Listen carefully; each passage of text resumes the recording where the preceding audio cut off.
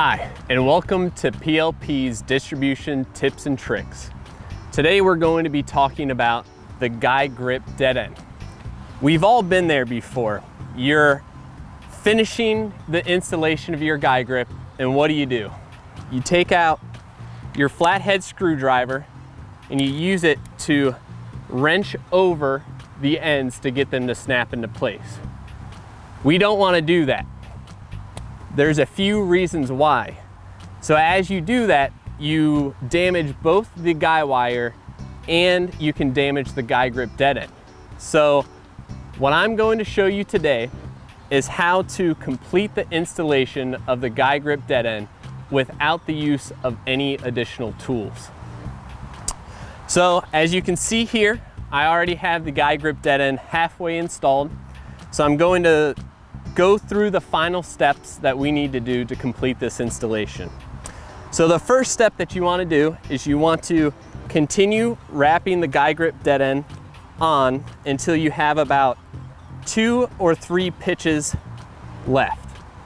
At this point, you want to split the ends of the guy grip dead end.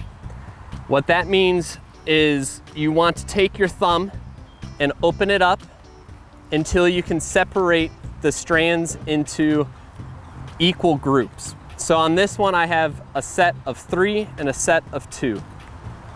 So you wanna back this all the way up into, until you reach the point where these crossed over each other. Both of these legs crossed over each other. So at this point, you can then take your leg and continue to wrap them on one at a time. And now when you reach the end, you can simply take your thumb and give it a quick press to snap it into place. So you'll want to continue doing that for the other, other leg. And once again, taking your thumb to snap it into place. Now you need to repeat those same steps for the other side. And as you'll see, as I unwrap this, the individual wires want to split. Now that's not a problem.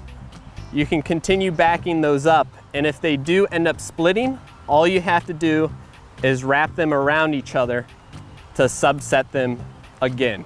Now you can wrap on just a single subset instead of the other legs, individual wires.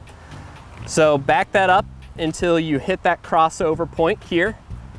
And then you can then wrap on the final two sections of the leg, snapping it into place using your thumb. And that completes the installation of the guy grip dead end. Thank you for joining me today and be on the lookout for future installments of PLP's distribution tips and tricks.